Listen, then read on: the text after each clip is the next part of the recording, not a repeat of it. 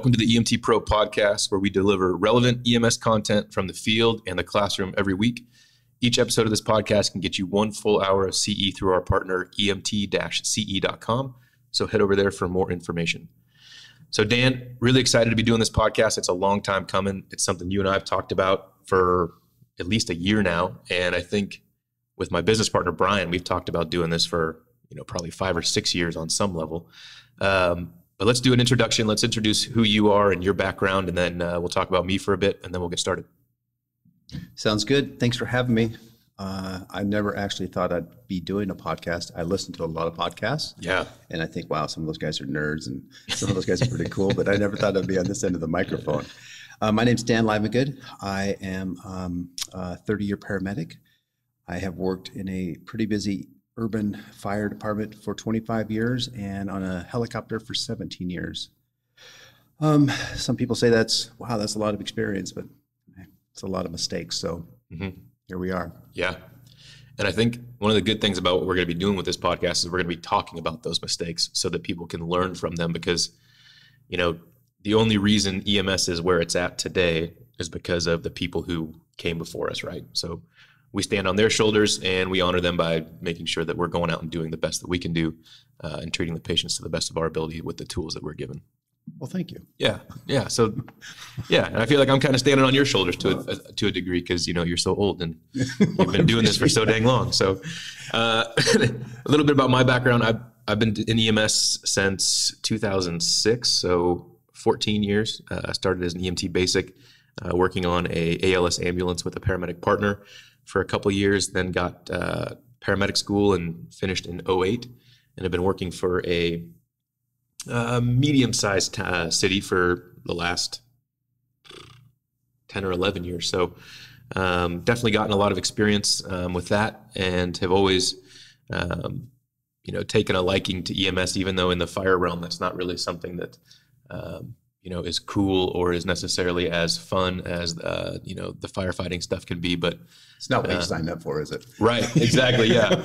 exactly. but it keeps me employed. Yeah. Oh man, sure does. Uh, so yeah, happy to um, be chatting with you, and hopefully we can, you know, put some of the plans we have in place uh, together for this podcast because I know we've talked about bringing on a lot of uh, the contacts that we have uh, in the EMS community and medical professionals, um, and it's going to be really interesting to get their take and learn from their mistakes, um, and uh, you know, just just get their take on what they do um, in the medical profession and uh, learn how we can, you know, all get better. So. Um, real quick, want to discuss the rules for getting continuing education through this podcast. So, uh, the plan is uh, you listen here, you can sign up on the emt-ce.com website. Um, they have all the information over there on that uh, on that web page. So, head over there if you want more information on that. Uh, but basically, you'll sign up, uh, you'll listen to the podcast, take a quiz at the end, and you'll get your CE credit. So, um, each quiz at the end of each hour of our podcast will be specifically related to the information we discuss and the types of injuries or um, A and P or you know the, the, content that is relevant to that podcast. So, all right, man. Well, let's get go. We're going to discuss two calls today, um, and I want to really uh, pick apart each aspect of it because there's so much to learn from uh, each piece. Uh, I feel like and you know, I want to hit it all. So, you know, each piece of the response model, the, you know, the, the patient uh, interactions, uh, other people on scene, how the scene was managed, the whole crew resource management aspect. Um, so Dan's going to talk about a couple calls he's got, and I'm just going to pepper him with questions um, as they come. So, Dan, let's talk about the first call you had. What were you dispatched to? So uh, I was working on a medic unit, just pulling overtime shift on a medic unit, and um, we were dispatched to a sick person in uh, a, a, skilled nursing skilled nursing home. So automatically, you know, my negative vibes start going up because I'm going to this place where it doesn't have a good reputation, usually mm. bogus calls, and we're dispatched with a truck. And I'm working in a my fire department has several towns that we work with, and so I'm working in um, a town that's pretty small and I wanted to keep the truck in service. So I canceled the truck. That was mm-hmm. my first mistake. Okay. So it's just myself and my probationary partner. And so we are uh, we're going to this call, and so this is where my unconscious bias sets in, right? Where, Right. where oh, here I go, here I'm going to this place again. I know exactly what kind of call I'm going to get, Yep. and so I Because the whole skilled skill is in quotations, right? Right. And the one thing that you've already said that I want to pick apart real quick is resource management. So you knew that a truck was coming, but you also probably had in the back of your brain, if I can put words there, that 99 times out of 100, you don't need a truck Absolutely. on a call for this place. Right. It's usually a bogus call. And so, you know, we can talk about it in a bit, but one of the things that I have a hard time with is even if I get burned that one time, I'm still going to cancel the truck if I don't need it because I, I just, if you have to keep resources in a busy system, that truck can now go on the next call and Right. make themselves available 99 times out of 100. Right. So it's going to burn me once in a while, but it's going to be rare. And I'm going to help more people by canceling it, right? Than Correct. by keeping it in service and letting it come with me every single time and then Right. canceling them once they're on scene for five minutes. And then, so I mean, as you'll see, as this call progresses, I could have actually called them back at any time. Okay. Well, this is going to be fun. Yeah. Okay. Keep going. Keep going. Okay, so I get in and I, I'm very sensitive to smell, and it really, really stunk in there. And uh, just as I walk in the door, and so I'm walking to the patient's What kind of smell are we talking about? urine and poop, Okay. Yeah. So, yeah. Yeah. Okay. and so I immediately want to get the patient out of there into the back of my ambulance. Mhm. And so it's it's a hot summer day, so it's hot in there. You have the smell. Um, as we're getting near the the room, I already know that the person that's going to do the handoff doesn't know anything about this patient. She says she just got on at eight o'clock this morning. Right. just saw this patient, it's been off for a week, you know, the typical. Mhm. Mhm. And so I'm already upset about that. And, and I can hear audible wheezes coming from the room before I even walk in the door. And so I know. Oh, wow. So, how, how far do you think you are from the patient when you're hearing mm, gosh, wheezes? 10, 10 feet. Oh, and geez. so I can, I can hear it. And I'm, I'm starting to think, oh gosh, let's get him out. Uh, and then we'll go from there. And so my partner and I put him on the gurney real quick. We get him out to the, the ambulance because that's, you know, that's my office. That's my comfort zone. I didn't Mhm. want to work in a smelly area that's super hot. And so uh, I listened to lung sounds. They're diminished in the bases um, and wheezes uh, upper fields. Mhm. So we immediately started a Mhm. uh, with the mask while I'm trying to prep everything. And remember, there's just two of us. So Mhm. there's two of us doing this whole thing. And he's probationary. He's he's skilled, but he doesn't really know our system yet. And so the hospital is less than two miles away. Okay. So immediately, what should I have done? I mean, just load and go. Right, start start my nebs. Yeah, get your get in the stuff front. going Let's and- just drive to the hospital where Yeah. there's a lot of people that can help me out. Yeah. But you stayed and played. But I stayed, and it wasn't really like, oh, I'm better than the hospital. It's more like, oh gosh, I don't want to deliver this this patient looking like this to the hospital because my ego says that I can do better than this. And so I'm still in that ego mode, right? My Okay. ego is running the call. Okay. Interesting. Yeah, and that happens quite a bit, or happened quite a bit. Uh, so I should have, I should have gotten the rig and just drove, Yeah. but we didn't. So we took a quick set of vitals. Heart rate was 140. Blood pressure was 72 over 46.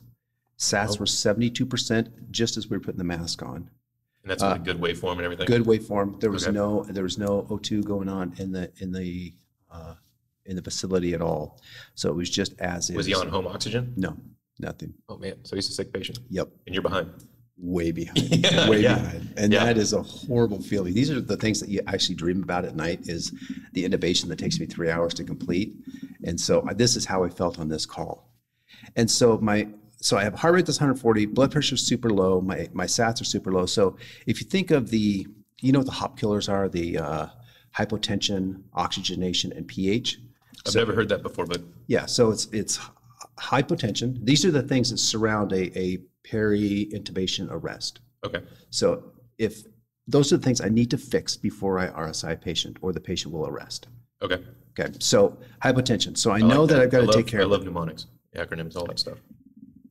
I, usually get them wrong, but luckily on this one. I, so the hypotension, I know what I got to do. Give them fluid Mhm. and start Levophed. Mhm. So I immediately start out at 12 mics a minute. So your system has Levophed. A lot of systems only have dopamine if they have a pressor. Right. And so Dan, one of the things that I know about Dan is the system he's from is known uh, for really having you know some top-notch care and some a lot of medications that aren't normally carried. Uh, you guys push the envelope quite a bit on patient care for Right. If you know the, the more progressive department, I would say. we, we have we have the the tools, we just don't usually utilize them to the full extent. Okay. So Okay. that's it's a system with way too many paramedics in it and not enough uh, calls and high acuity things to satisfy the paramedics. So their skills degrade. Gotcha. So, Interesting. so started. Uh, I started uh, Levophed, 12 mics a minute. Gave some Dex, Duoneb, we Okay. Whoa, whoa, whoa. What's Dex? Dexamethasone. Okay. So it's a steroid. Steroid, right? Yep. So Okay. it's not something that's going to immediately take care of the patient. It's something that's going to help down the road. And that's a drug you guys give in lieu of Solu-Medrol. Correct. Okay. Yep. We switched to that a couple years ago. Okay. And is that given IV, orally? You can give IV orally. You can give it just about any way you want. So we gave Okay. IV. So we had the IV going, we had fluids going, and we had the Levophed going. So now I'm taking care of my hypotension. So I think I'm doing amazing. Yeah. So now the oxygenation, the SATs were 72% initially. We started uh, with a BVM. Mm-hmm. Uh, we obviously only had two people, so it wasn't really good technique. We didn't have two thumbs down. We were just trying with our CE technique. So we were getting and trying to augment their breathing and try to open up some of some of their their fields. And we had PEEP on, but you know, I'm not. I'm I'm thinking this patient has an obstruction problem. Their lungs are obstructed. Right. So, I mean, it's not like I'm trying to recruit lung, like they have pneumonia.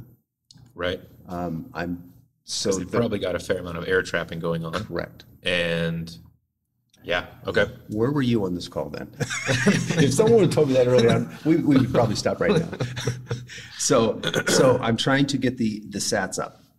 Um, I should have put on end-tidal CO2 at that time, but I did not. We have that capability. Okay. Uh, did not do that. Um, but I know I have to RSI this patient. Right. Why? Because I'm two miles away from the hospital. I don't want to show up without a patient who's intubated. That's, Okay. Once again, that's my ego talk. Ego talk. Yeah. Yeah. So with the with the Levophed, uh, my heart or my blood pressure goes at 96 over 61. Heart rate comes down a little bit. SATs I- they top out at 84 percent. With the Duonebs, uh, with the Dex, with the bagging. So I, we're trying to just pre-oxygenate as much as we can. 84 percent is is as high as I can go, and this is before we had DSI, where we could use the ketamine to try to you know to So explain DSI for so that's just delayed sequence intubation. Mm-hmm. That's where you have that patient where you're trying to get the SATs up and they either will, are fighting you to put like a CPAP mask on or to bag them. Mm-hmm. If you give them ketamine, it brings them down a little bit and, and you're able to, to oxygenate, try to get some recruitment. Mm-hmm. Yep. And, and that gives you more of a safe zone for your RSI. and the ketamine won't tank their pressure. Won't In take the fact, it pressure. might raise it a little bit. Correct. Yeah. So ketamine's awesome. and great then drug. it also will bring them down to the point where you can you can control their airway a little bit better. Sometimes we just use ketamine and like on the helicopter, like combative patient, I don't even have to RSI. Mm-hmm. Yeah. You know, you just walk up to them, you give them a little shot in the side and walk away for a second and they calm down, Yeah. lay them on the gurney and off you go. Yeah. Head injury. So uh, still, here I am. I've got my I'm still two miles away from the hospital, still sitting in the parking lot. Truck is less than a mile away, sitting in the, the recliners probably. All right. right. Yeah. I mean, you cancel them, I right? guess They got to go back to. I mean, they're not going to check on me to see how yeah. I'm doing. Right. So uh, I used etomidate as my as my induction agent. Okay. I should have used ketamine Okay. because ketamine with a obstructive patient with an asthma or COPD patient can actually open up the airways. Right. So I used etomidate. Uh, I think Okay. it was force of habit of all the years. Sure. Etomidate's a good drug, though. Right. It's a good Just drug. not ideal in this situation. Right. Yeah. for an asthma patient would have been Good for ICP. Yep. Uh, good induction agent. Yeah. Yep. Okay. and we use sucks. And uh, uh, had I had rocuronium, Yeah. that would have been amazing because Yeah. sucks will eat up your, your airway stores and rock won't. But I use sucks and I know that he had an oxygenation problem was 84%. So let's go back to the, the last, the pH. The pH uh, is, is a killer as well. So if this guy is, is air trapping, he's not ventilating, which means he's not Right. blowing off the CO2 Right. which means if his CO2 is rising, his pH is lowering, Correct. which means he's acidotic. He's acidotic. If you get acidotic, then you can go into bradycardia, you can do you can arrest. and it can even mess up your ability to absorb and metabolize the drugs you've given. Correct. So you're already behind the curve unless you correct that problem, Right. which I'll let you get into it. But Yes. I don't know if it's always our job, so to speak, to correct those things. It's correct. Right. We will see that in a minute. Okay. Yeah. So, uh, so we, we do the intubation. Uh, we have a, a checklist at where I work, and the SATs we're supposed to get them above ninety five percent, and if we if we drop below ninety five percent, we pull out. Well, I knew that this is eighty four percent, and we verbalized it. So I said, if I get to eighty percent, because you're watching the monitor, if I get to eighty percent, have me pull out. This is where you have to have your best airway person, and we only had two guys to choose from. And And you got the ego I guess going, I got so, one. Right. so you're in. Yeah. That's it. and so I said, 80%, you tell me to pull out. Because I knew on the oxygen desaturation curve, Right. I was right there that I was going to You're at that cliff. Yep. Yeah. And so uh, we pushed the drugs, we kept bagging, and uh, luckily I had him positioned right and I got the tube immediately. Stats only dropped to 81%. Okay. So I did well there. How long do you think the tube took from, you know, mask comes off to you're in and you're given a ventilation? Uh, so we use we use apneic oxygenation as well, which is you put the the nasal cannula in, crank Mm-hmm. it at 15, and even when they are paralyzed, they're still getting oxygen flow Right. down the trachea. Okay. Uh, we were using that, so I was probably in there 30 seconds total Good. from mask off to Yeah. in. That's good. Yeah. So uh, got the tube. I did my five point check. He still decreased because you know he has the lung problems. But So go, let's go over your five point check. okay, so what are you worried about? I immediately go to the epigastrium. Just first first ventilation. I want to check the belly. Make Yeah. sure. so you've got your ears on. Yep. You're, you're checking the belly because you're looking for that, uh-oh, Yeah. extra gurgly noises. Correct. Okay. And I know it's going to take a few breaths to get my end tidal for that verification. So I want to make sure I utilize every one of those breaths. With, 'cause If I'm going to fill up the gut, I don't want to. I don't want to do it immediately. Right. So negative epigastric, um, and then uh, positive on it bi- bilateral. Awesome. Yep. So you check the right lung, check Yep. the left lung. You're not too deep. Everything's good. Everything's good. They will still decrease because of the you know the Right. underlying problem, but the tube was good. Okay. So then And I- title at this point? now, yeah, it's because the end tidal immediately goes on. Okay. And but it, I hadn't got it. But so once I did the five point check, I look over and end tidal is hundred. Oh. Okay. So I'm thinking, wow, I've never seen this. What is wrong? What is wrong? Yeah, you're probably thinking, am I looking at the, Yeah. SPO2? Like, nope, that's in the wrong Oh, spot. looks good. And my partner, you know, I love him to death, but he didn't know. Yeah. And I'm all over the place. And my truck is still, and it's a paramedic truck. I could have used paramedics off the truck. They would have loved to have helped you. They would have loved to. Yeah. Yeah. They didn't have to even write the chart. No, no, they just needed to come do the hero just needed to stuff and hero go stuff. back home. Right. So I'm looking at that 100, which means I need to ventilate faster. Hmm. I need to blow that off. So your brain says, Yep. you know, there's the old adage, uh, if end tidal is high, you fly with your ventilations. If the end tidal is low, Go slow. go slow I like that. with your ventilations. But if you just stick to that, that's a problem because you're only cons- you're only considering one aspect for why a patient could be hypercarbic Correct. or uh, hypocarbic. Correct. So Yep. okay, okay, So- keep going, keep going. This is good. So I'm looking at that and I'm thinking, okay, all right. I tell my buddy, my partner, uh, let's sedate. So always sedate after uh, your intubations. What do you guys use for sedation? we did, um, we did uh, Versed Okay, and and just to, like two and a half. I should use ketamine, but Mm-hmm. we used two and a half. Usually, if the pressure's super high, we'll go 5 and then we do fentanyl. Mm-hmm. okay, So good. So you're always treating yes, for pain as well. I am more concerned about the fentanyl than I am the Versed. absolutely because fentanyl's going to Right, have some potential other issues, especially with an asthmatic patient. right, exactly. Yeah. So Do you guys have any other pain meds besides the fentanyl or ketamine? No, that's it. Okay. Yeah, that's where I'm at. That's where we have two. Yeah. That's all we have. And so then we have a ventilator. Uh, and so, you know, for my two minute transport, I can put him on the ventilator. right. So I'm still sitting in the parking sitting lot. in the parking lot. Still in the parking lot. Uh, we're rechecking vitals. Vitals are still good. Um, end tidal is still 100. So I do my vent and um, vent settings. I've had him in assist control. I had him at 380 for tidal volume. And I did this, or her, Uh, because she's about five seven, I just go off this chart, the ARDSNet chart, and so we go ideal body weight. And so about 380, uh, PEEP of five, which I really didn't need to do. She had plenty of plenty of PEEP. Mhm. Uh, respiratory rate of 20. IDE was one to two. And so Okay. I'm thinking So the IE you're talking about inspiratory expiratory ex- ratio, inspiratory, expiratory. and that's one second in, two seconds out. Correct. And that's that's the norm. You and I Right. right, now, if we were uh, on a ventilator, that's what we put on. Yeah. But we have good lungs, right? We have good lungs. So I wasn't She even wasn't. thinking that. Right. Yeah. Okay. I'm still thinking of that number, that 100. I've Right. got to get that number down. I can't deliver this patient to the hospital Right. with an end tidal of 100. Yeah. And so I crank it up. And I, Dan, this is so interesting, man, because I feel like in EMS we get caught trying to do too much more often than not. Right. And you know, there, there's people that I know that take it personally that they weren't able to reverse everything that they were thrown at Right. with the patient. And I just want to empower people a little bit. Like, if someone has, you know, let's take it's a cardiac patient. If they've spent 60 years ruining their arteries and they call 911, it's not your responsibility to reverse that in two minutes. Right. Exactly. And so we have to be realistic with the way we treat patients, with the, you know, the abilities that we have. We obviously want to do what we can do, but at the same time, we have to recognize, and I think this is going to be something that comes up over and over and over again on this podcast, is we're not the end result. We're not not. the um, the place that they ultimately need. No. You know, we're, we're there to serve a purpose, to get things going and to stabilize when we can. And then we drop them off. right. You think And that, that's our cog in the chain, right? right. Yeah. And you think of the, the cardiac patient, you are, you're taking that cardiac patient to the ER. That's not the final result either. It- Right. That ER doctor Yeah. is pushing that on to the cardiologist and the cath. Totally. So Yeah.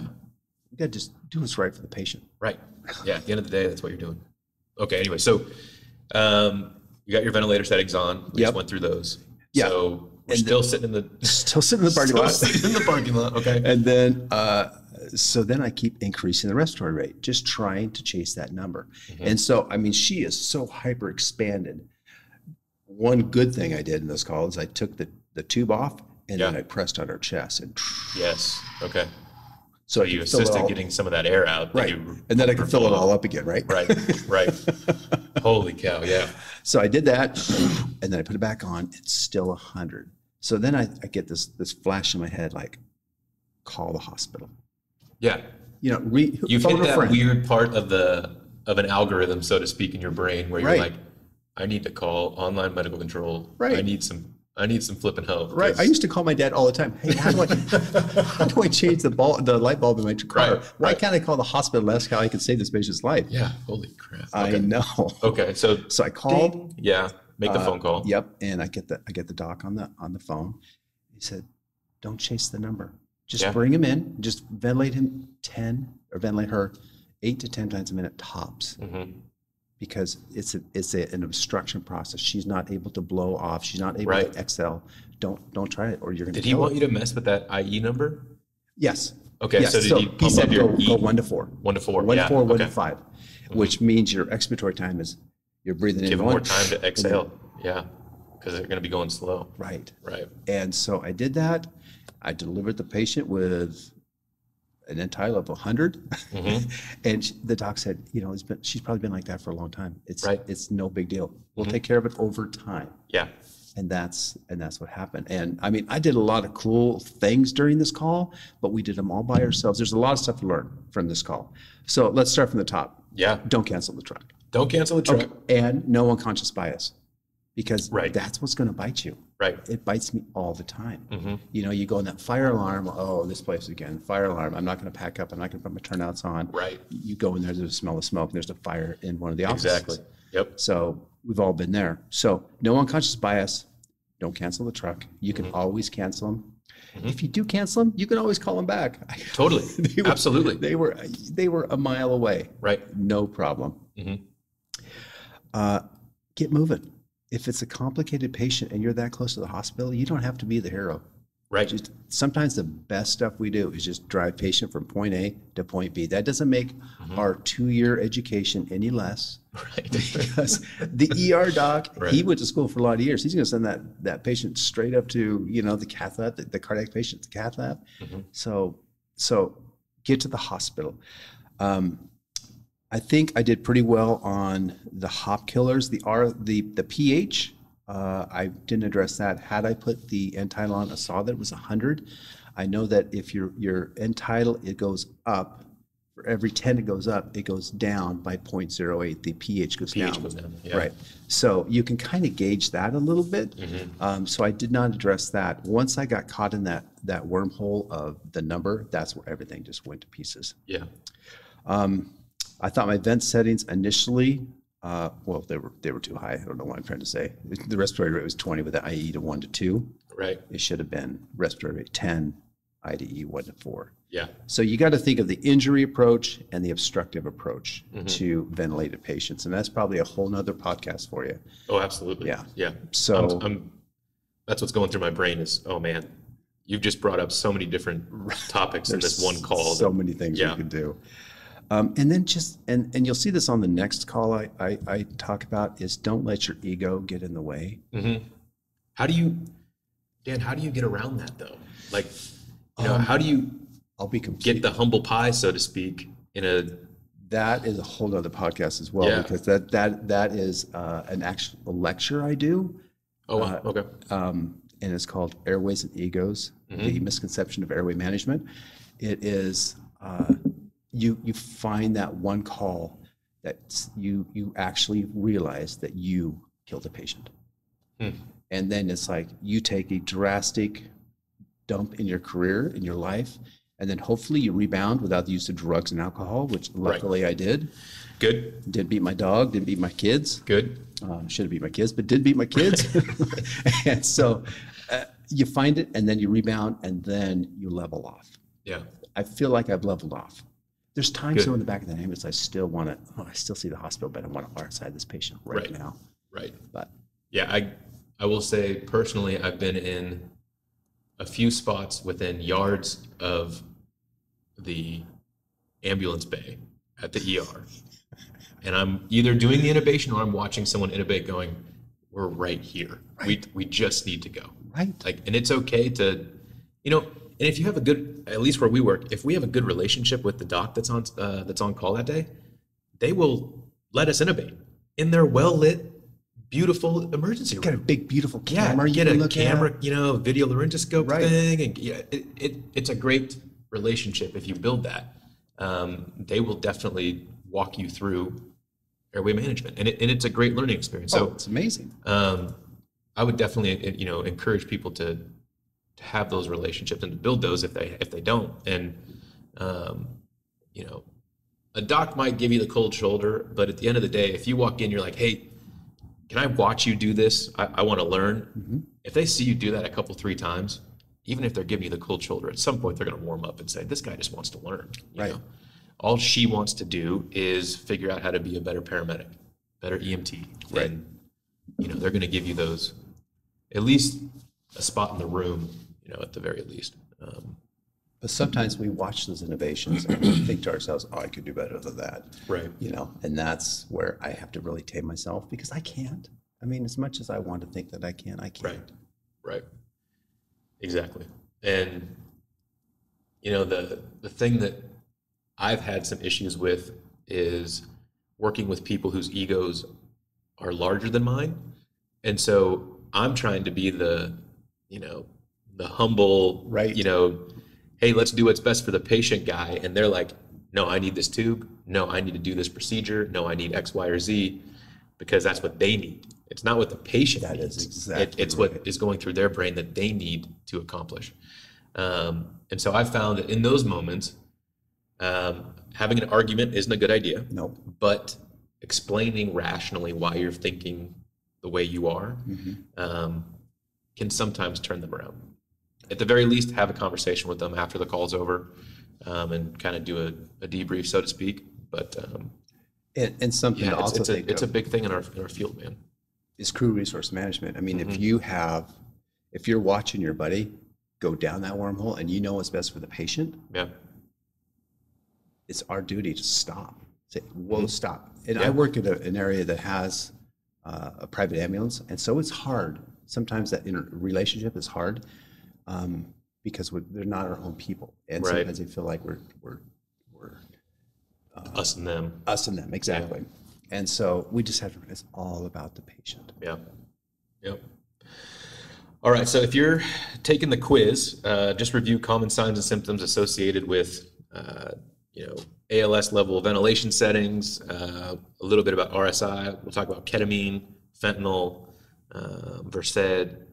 Um, so just have those things in the back of your brain if you're going to take the quiz on this one. But um, Dan, one of the things that you brought up was at some point in your career you're going to find that that call where you go i think i was the reason they deteriorated or i think my interventions weren't what they needed and i may have caused further harm unknowingly and the thing that is so important about that is one recognizing it but two what do you do with it once you get that information? And I remember going through school, um, the instructors that that I had would always tell us, if you're pushing RSI medications and you don't have a little bit of a pucker factor going, you need to check yourself because this isn't supposed to be fun.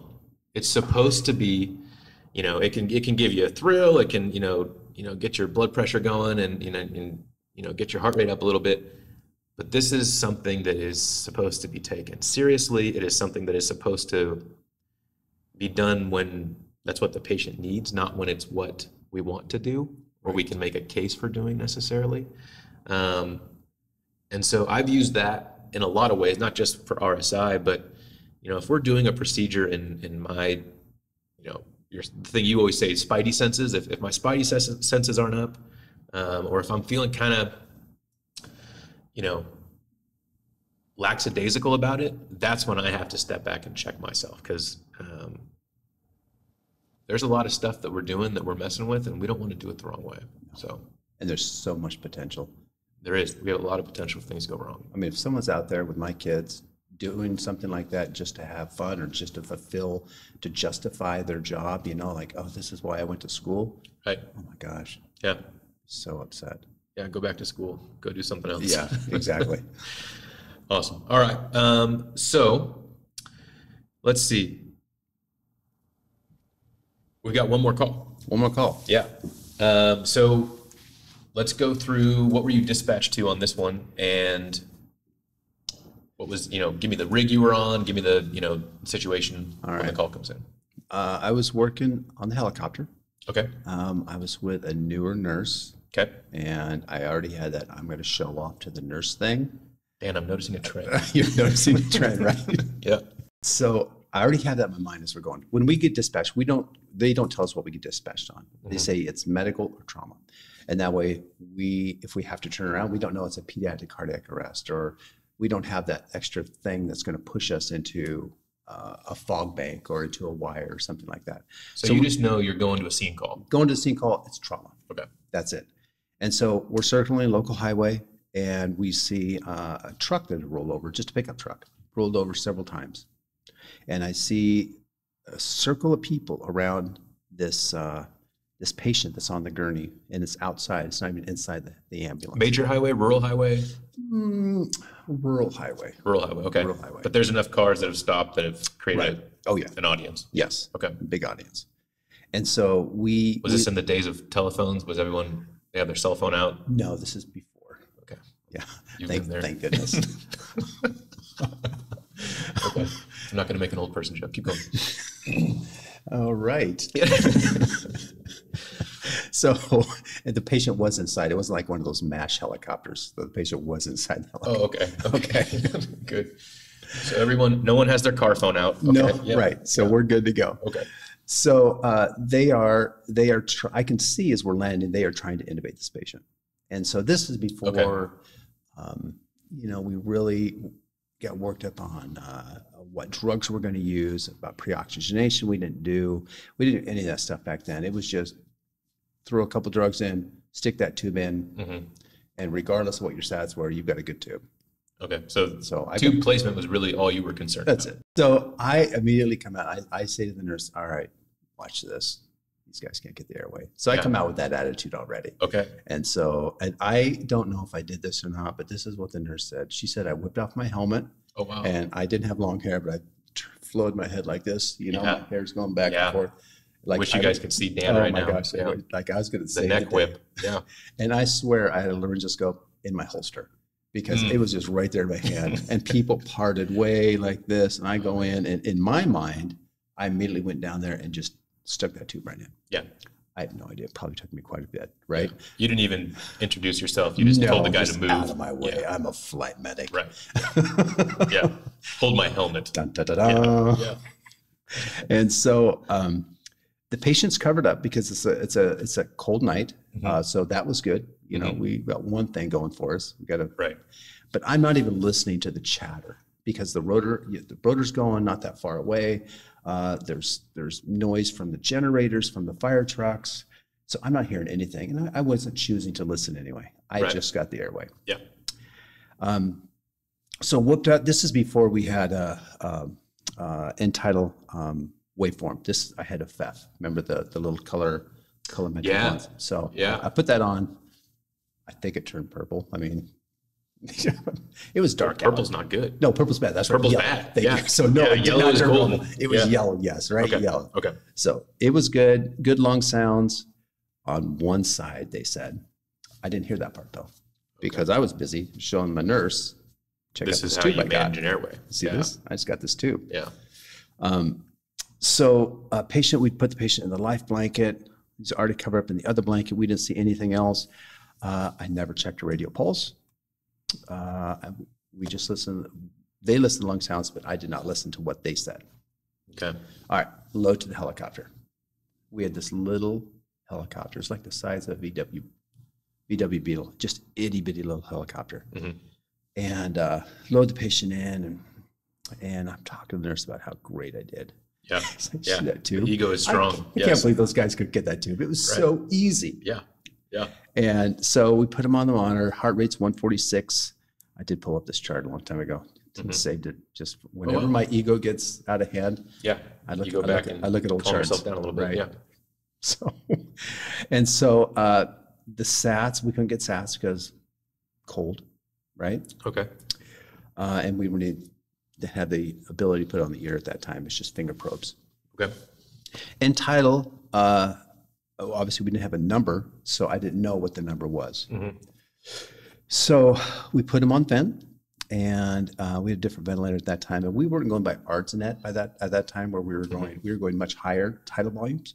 So my tidal volume was 780, Oh wow. which is And how, how big was this patient? um, oh my gosh, five nine. It's about my Okay. height. Okay. Yeah. How so it should have been about uh, about 400 tops. Oh wow. Yeah. So I'm going 780, people five, respiratory rate 12. Okay. Um, so we're going, and I'm still, I still have my ego just chitter chatter, and the nurse really doesn't know. She's not that that uh, she's not that into or not new enough to the. What, am I trying to say?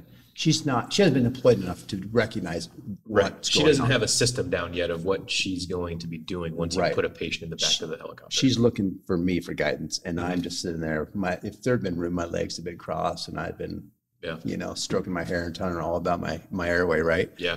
So we did we did appropriate fentanyl and Versed, and then I gave VEC. Back in the day, we gave VEC to everybody, Okay. and so the reason we did that is because in our mind, that was sedation, because they didn't move, and if they didn't move, that made me feel good. And then once you see that tear running down the side of their, Yeah. oh, I guess I'll give a little more fentanyl. Guess I'll give a little more pain management. Right. Yeah. And so that, uh, so we gave VEC. We don't do that much anymore. No. Very little. Very little. Heart rate drops down to 76. I'm not thinking anything of it. Mhm. Okay. Uh, So, and maybe you're going to get into this. What are this guy's injuries from the from the from the car wreck? well, that, that's Because you said it was a rollover. It's a great question. And was and I guess we didn't go. over this. Was was he extricated? Uh, that's a great question. You don't know because you weren't I got listening the airway. talking. Yeah. Steve, I got the airway. Come on, buddy. Okay. Okay. I'm following now. I'm following. Okay. Yeah. So, yeah, no assessment. So these guys, to to this responding agency's credit, that you showed up to, They they they did what they were. You know. They, they got the patient out. yeah. They covered the patient so they weren't hypothermic. Yeah. they recognized the need to RSI the patient, Mhm. so they were doing well on that. Mhm. Uh, and we'll get it to what else they did here in a minute. Okay. Okay. Yeah. So, So- they probably had shared all this stuff with you. You were just in la la land. Like I was just. your arm is getting sore patting itself on did the back. you right? see my Yeah. okay. Oh my gosh. Right. I'm so embarrassed. So we get on the helipad, and um, uh, heart rate is down to 52. Okay. Uh, did I? I did say vent settings, right? Yes. Yes. So, um, so the the the high uh, the PIP alarm is going off. We didn't have the the ability to check plats, P That's plats your that. The Peak inspiratory pressure PIP alarm. Correct. And so that means it's, there's resistance. Mhm. So whether it's in the tube, whether it's in the upper airways, whether it's somewhere, right? The plats, the, the plateau pressure tells you where, if what the health of the alveoli is. We did not have that capability. I might not have even checked had we had it, right? Yeah. But that would have told me a lot Jeez. because the, the PIP Right. was just kept climbing. And what did I do? I just turned off the alarm. Right. Oh, that's It annoying. was, yeah, it was make that go away. way. I'm talking right now. Right. You know? Right. So I'm just turning that off. Um, so we're going, we land on the helipad, start going down the elevator to the ER. So you're at a trauma center. trauma center, Okay. level one trauma center. Mhm. You've already given a your report. Let them know what you're dealing with. Yep. Well, it was, yeah, wasn't a very good here report. I Right. just said, Hi, my name's Dan. I got the tube. We'll be there in 10. Yeah. exactly. Okay. A little extra help on the helipad. Remember, You go out of the Right. helicopter, that'd be Yeah. great. Yeah. Need an extra gurney. Yeah. Oh my gosh. and so we're going down and the heart rate gets down in the 30s. And then I start thinking, wow, why is it getting down in the 30s? Yeah. Why is it dropping? Hmm. And I check for radial pulse again.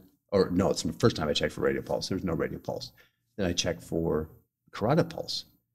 And then I start thinking, oh my gosh. You know, start my finger starts going all around and there's no carotid pulse. Luckily, the door's open and the trauma bay is 10 feet away. Okay. Roll in the trauma bay. They we flipped the we flipped the blanket over this great big blanket because we kept him nice and warm hmm and it is full of blood because his right arm had been amputated and they put a tourniquet on, Right. which I'm sure they Which told me. I'm sure they told you. Yeah. The only thing is it it had come loose Oh. And he had bled out. We didn't see as we got out of the helicopter the huge streak of blood along the, outside of the helicopter because it was his right arm that was taken out. Small helicopter. You Small can't helicopter, see it. You can't see it, and it just Oh my it just gosh. huge streak. And so um, they immediately did. They opened up his chest. Mhm. Uh, luckily, he arrested just just as we were coming downstairs. I mean, that always happens, right? Oh, he just coded. Right, yeah. but this time we haven't been like doing 10. this for like 20 minutes. Yeah. Right. And so massive transfusion. Um, they, you know, obviously uh, put another tourniquet on. They were dealing with the arm, massive transfusion, um, and cardiac, cardiac um, Internal cardiac ma- massage. massage. Yep. Wow. So, I mean, I'm watching this, then I start thinking, oh my gosh, I think I messed up here. Yeah. But then I started thinking, well, I did get the airway. and I started backing up a little bit, Right. just working my way out of the trauma before people start talking to me. Yeah. And uh, he lived.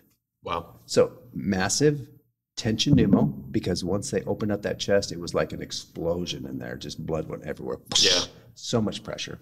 Yeah. So I, I didn't check for the, the lung sounds. Obviously, he had signs of shock. Right. So, I mean, you don't want to needle someone just because they have decreased blood, uh, lung sounds. Right. So you want gotta have more signs than of one. shock, Yep. mechanism. And he had mechanism. He had, had I done a good, a Yeah. good uh, assessment, I would have noticed that there was broken ribs, very Right. issue right here. Right.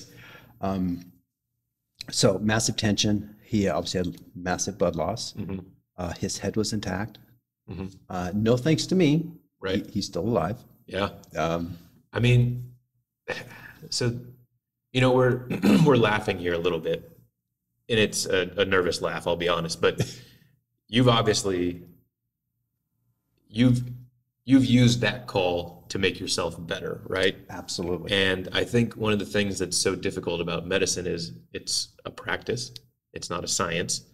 And we use each call to make ourselves better if we choose to look at it that way. And we don't get caught in a rut of, right. you know, this is who I am, this is how I do it every time. And, you know, you get into that mindset of, you know, downplaying the call you're being dispatched to and this, that, and the other thing. So I guess what was what was the fallout from that? What was what was the repercussion that even if it was just with you personally. Um, So, so I went out to the helicopter. I saw all the blood. Mhm. I noticed where my feet had been the entire time was on our blood cooler. We carried two units of blood, oh man, and so I start, I started thinking like, man, I could have done this. I could have done that. I could have recognized this. But at that point in my career, I was still, I don't know if it was, if it was my ego or if it was insecurity or what it was. I did discuss it with the nurse. yeah, She thought, she thought that's just how it always goes. Right, Um, so did she learn from that call? Not initially. We talked about it several years afterwards. I said, I, I got to talk to you. Mhm. I really messed up. yeah, And then, and then it all kind of came together for her. And I use this call quite a bit when I do when I do uh, airway classes Mhm. because I want people to learn from my mistakes. And believe me, there are a lot of mistakes. And yeah, I'm sure the people who are listening to this have made mistakes, and that's okay. Yeah. As long as you recognize it and you learn from it, like you said, Mhm. that's the key. right, And so, what could I have done differently on this one? Um, first of all, I should have put the patient in the back of the ambulance initially and, and done the airway there. That way, we could do that thorough assessment, take the extra two minutes, open it up, take a look, see where, where it is. I would have known there was an arm missing, right, known there was a chest problem. I mean, we could put chest tubes in, the whole thing. We could have, all the stuff we could have done. Yeah, Um, I would have known I needed blood. hmm Um, so a good history back in the ambulance, thorough exam. Um, I wouldn't have used the VEC. Don't use that Right. anymore. We, uh, we have roc now, but I rarely use that. Well, I'll use that as the, the paralytic, the initial paralytic, because I'm not a fan of sux. But that's just, that's just me. right, Um, and then uh, on these tourniquets, got to recheck those tourniquets constantly to make sure. yeah. There's there's a a bad habit we can get into is set it and forget it.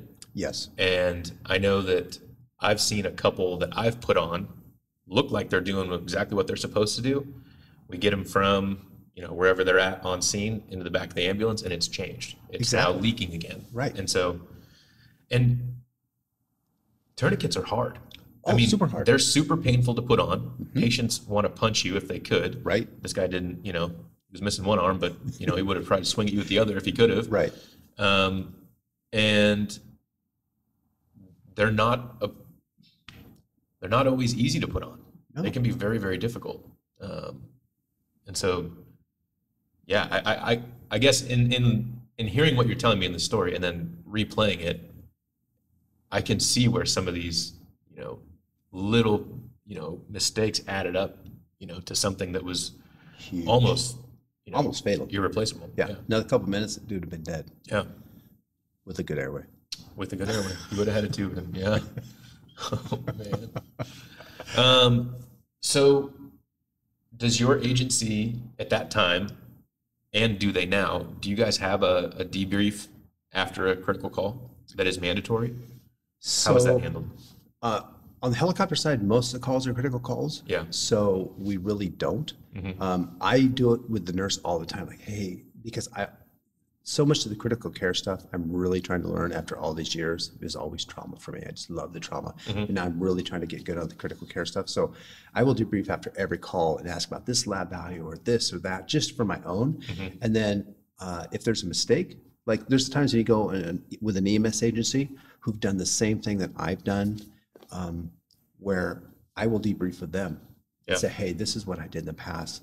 Um, And you guys follow up we follow up with, with the agency that, with- that called you, right? right? Yeah. Because we want them to make, we want to make sure that they're okay with what happened, that we did all right, and that if we have feedback for them, because Mm-hmm. that's the only way we learn. Yeah. If you don't know, learn from someone telling you, hmm I know in my dealings with the agency you work for, when we've had to call them out, uh, they always do a great job of following up. And then, you know, they've even given us kudos like, hey, awesome job on the airway, uh, awesome job with the decompression. right, Um, really appreciated you guys having that LZ set up the way you did. It was perfect. right. Um, but yeah. Well, cool. Dan, um, I think that's all we got for this first episode, man. Um, I want to thank you for being open and honest, Yep, being a little bit thank you. vulnerable. Um, it's not always the easiest thing to talk about our mistakes. And um, the beauty of it is, though, we can all learn from it and get better because someone's willing to talk about it, right? Right. So awesome stuff. Um, thank you to the listeners for uh, hearing out our first podcast. We're excited to be starting this thing up, and uh, we'll definitely have more for you in the near future. So we'll see you guys on the next one.